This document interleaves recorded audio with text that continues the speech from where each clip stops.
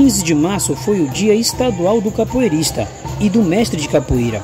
Esta data foi comemorada pelo contramestre, professores, instrutores, graduados e alunos para comemorar essa conquista do capoeirista e do mestre de capoeira do estado, lei sancionado pelo atual governador Helder Barbalho.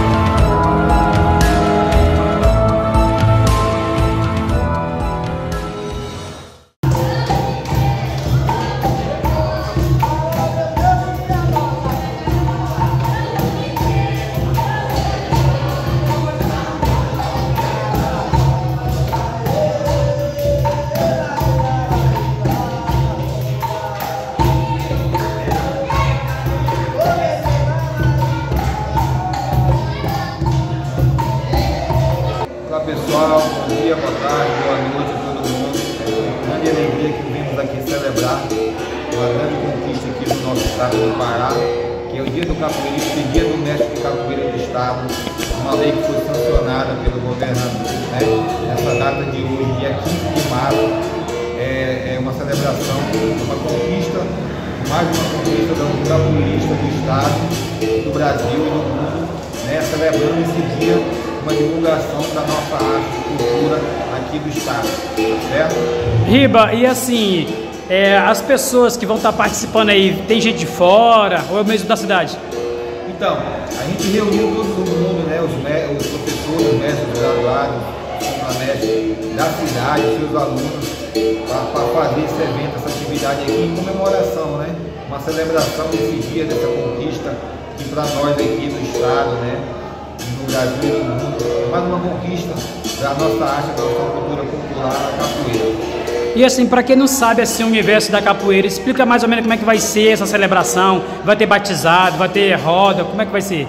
Então, vamos fazer uma mistura um pouquinho de cada. É só uma brincadeira, é só uma conquista, é só uma celebração. Então a gente vai fazer prêmio com todo mundo, uma roda com todo mundo e algumas atividades de apresentações, como, como uma colher, como uma capoeira um pouquinho mais marcial, tá certo? E, e dentro disso, a, a, tradicional da capoeira, né? que é a roda, que é o jogo, que é o canto, que é o banco berimbau. E assim, é, falando da cultura, falando da capoeira, assim, é, vocês vê alguma dificuldade, assim, é, questão de apoio? Como a sociedade hoje é, leva a capoeira, assim, hoje em dia? teve alguns avanços, né? Uma delas é foi programada também. Como patrimônio histórico aqui no Brasil, né? Também como patrimônio histórico imaterial pela Unesco, então foi só ganho, só sucesso aí que a capoeira foi ganhando ao longo desses anos, tá certo? Claro que a gente precisa de mais, de mais apoio no meio empresarial, no meio político, tá certo? vezes espaço a mais aí nas escolas, nas comunidades, associações. E é o que a gente pede, a gente almeja, porque também ela é um instrumento de formação, de inclusão social. Tem vários ganhos. A capoeira ela tem vários ganhos social, de motor, de saúde e tal, em geral. Ela é, é completa, ela traz inúmeros benefícios ao seu praticante. Sobre a divulgação da capoeira em si, vocês já têm muitos anos que vocês trabalham, né? é, em prol da capoeira, desenvolvendo jovens e crianças. Mas a questão da divulgação, como é que está a divulgação da capoeira? Pede um pouquinho mais da divulgação da, da, da capoeira aqui na nossa cidade, tá? Sempre que falta um pouquinho, mas a gente já avançou, né? Mas a gente, claro, a gente quer avançar cada vez mais. e vamos pedindo esse apoio aí né, para entidades é, governamentais aqui, a entidade cultural da Secult aqui, tem dado um apoio para a gente legal também, mas claro, a gente quer, quer sempre mais. A sociedade, assim, como ela age na, na, nessa questão da capoeira? Porque a gente sabe que ainda existe muito preconceito, mas a gente sabe que o preconceito só existe para aquelas pessoas que não entendem o que é capoeira, na é verdade? Exatamente. É, a capoeira ela sofre um preconceito pela questão, as pessoas acham que ela tem alguma, alguma coisa com religiosidade e, e, na verdade ela não tem. O que tem é os capoeiristas que participam de alguma entidade religiosa, né? pode ser diversa, mas a capoeira em si ela é única. Ela nasceu no tempo da escravidão, veio crescendo, veio evoluindo, né? se difundiu pelo Brasil todo, hoje é jogado em mais de 200 países e hoje ela, ela tem um pouquinho dessa, quem não conhece, dessa resistência, porque pensa que ela tem alguma coisa com religiosidade, com candomblé, qualquer, qualquer outra coisa desse tipo. Não. O que ela tem são os seus praticantes têm as suas religiões, que são diversas, várias ordens, vários segmentos, católicos, protestantes e assim por diante. E sem contar que a capoeira também, ela ensina o jovem, né? Esse jovem é criança, né? Isso? Ela dá aquela formação, né? Então, ela é, uma, é, uma, é, é mais um instrumento de educação, de educação, de formação, de inclusão social, tá certo? Emocional, psíquico, cultural, esportivo, social, ela tem essa, essa, essa vantagem de ter esses vários adjetivos nela só que você consegue explorar pra, tanto para crianças, jovens, adultos, adolescentes, enfim, uma, uma geral dos benefícios que a capoeira nos propõe através dessa arte, dessa cultura. A gente sabe que a capoeira, aqui, é, principalmente aqui em Paragominas, né, o apoio é muito pouco é, sobre isso, né? Falta espaço, né? É, e quando tem espaço, como você falou, às vezes é pequeno, não cabe tanta, tanta, tanto jovem como criança, né? É, seria bom mais apoio? Isso, a gente pede o apoio sempre, né? É, apoio político, apoio social, o apoio empresarial, que a gente consiga alcançar, divulgar, ensinar, né? alcançar cada vez mais os jovens os adolescentes, está informando, divulgando a nossa arte ao mesmo tempo, né? É, ensinando, educando é, os jovens, adultos, adolescentes de uma forma geral, e a capoeira permite isso. Eu sou uma prova disso. Quando eu comecei a treinar capoeira, eu vi que eu tinha necessidade de estudar, tinha necessidade de crescer, de evoluir, e através dela, com o incentivo que ela me deu, eu fiz faculdade, com certeza me tornei uma pessoa melhor, mais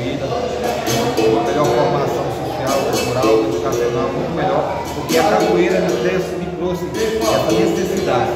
E assim a gente quer fazer os demais O pai ou a mãe que quiser colocar o seu filho aqui, como é que ela deve proceder para estar tá colocando seu filho, seu jovem aqui na capoeira? Então, nós temos alguns lugares que treinamos de capoeira, temos roda de clube, todas as terças-feiras, de 7h30 às 21h30, tá? Temos aqui o Centro Cultural também, que é na sexta-feira, tá certo?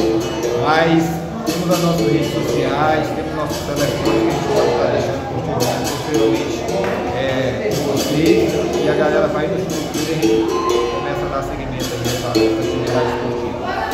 Pois, mestre Riba, muito obrigado pela sua entrevista, muito obrigado pelas informações aqui. Então, muito obrigado.